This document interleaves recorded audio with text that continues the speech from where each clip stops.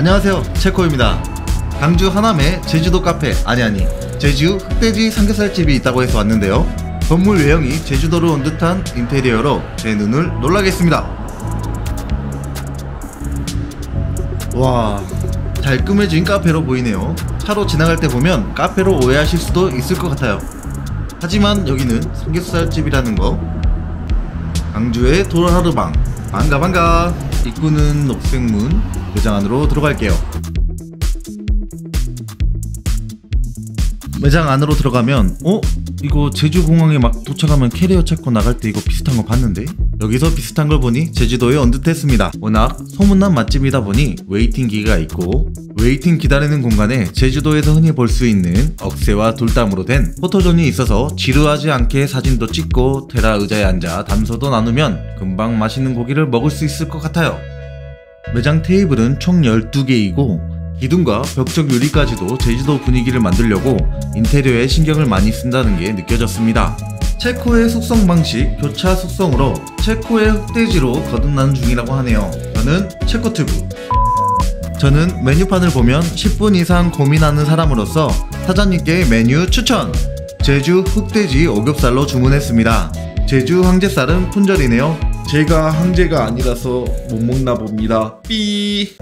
기본 반찬 세팅으로는 파채, 야채, 고사리 백김치가 있고요. 고기와 곁들여 먹는 소스가 4종이 있는데 쌈장, 갈치 석젓, 와사비 그 뭐더라 백년초에 어떻게 해서 소금이라고 했는데 부족한 반찬이 있거나 쌈을 더 먹고 싶으면 따로 준비된 셀프바가 있었는데요. 혹시나 깻잎이 부족하다고 천장에 대롱대롱 달려있는 넝쿨을 뜯으시면 안됩니다. 불판에 불 들어가고 오랜만에 보는 고기랑 짝짝꿍인 멜젓 두툼한 흑돼지 오겹살을 불판에 올리고 소리도 듣고 서비스로 나오는 돼지고기 맛 가득 배인 진한 김치찌개도 주셨습니다. 거기 크기 괜찮으세요? 이게 잘라도? 아니 뜨겁게 드시면 그냥 구워주셔도 될것 같아요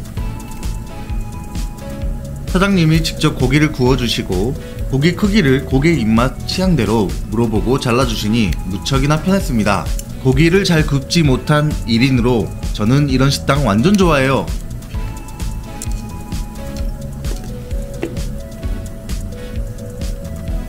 고기를 구워주는 그 타이밍에 대화가 단절되고 갑자기 정숙되는 분위기가 형성되는데 혹시 저만 그러나요? 여기도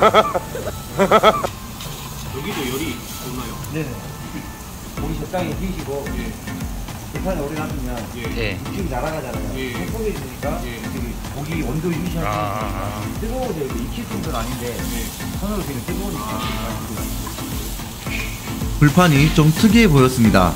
가장 자리에는 적정 온도가 유지되고 있어서 잘 익힌 고기를 올려서 타지 않고 식지 않게 해주는 불판이었습니다. 하지만 손으로 만지면 뜨거우니 절대 만지시면 안 됩니다.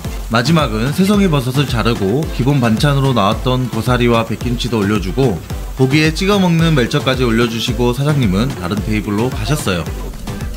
맛있게 잘 구워서 잘 정리하고 가셨는데 잘 굽지 못한 제가 집게를 들어 만지니 고기들이 좌우정렬을 못하고 있네요. 두툼한 제주 흑돼지 오겹살을 백김치에 고사리랑 같이 넣어 쌈을 만들어서 멜젓에 찍어서 맛있게 먹었습니다. 사이드 메뉴 중에 꼭 먹어봐야 하는 두 가지가 있는데요. 첫 번째, 화성송 계란찜 소짜. 지금 보이시나요? 가격은 1,900원. 주방에서 갖다 주실 때 넘칠까봐 조심스럽게 오셔서 올려주시는데 양이 넘칠 것 같아서 놀랐습니다. 두 번째는 활화산 볶음밥입니다. 볶음밥 주위를 계란으로 둘러서 그 위에 치즈까지 올려주는데 비주얼이 장난이 아니네요. 계란이 익혀지면 휘휘 저어가며 섞어주고 김이 올려진 볶음밥 그리고 계란과 함께 한 입 먹으니 입안에서 활화산이 분출되며 입천장은 다 까졌습니다. 뜨거우니 천천히 드셔야 합니다. 제주도 분위기와 맛있는 제주 흑돼지 고기를 먹고 싶다면 하남 제주간으로 가시는 걸 추천드립니다.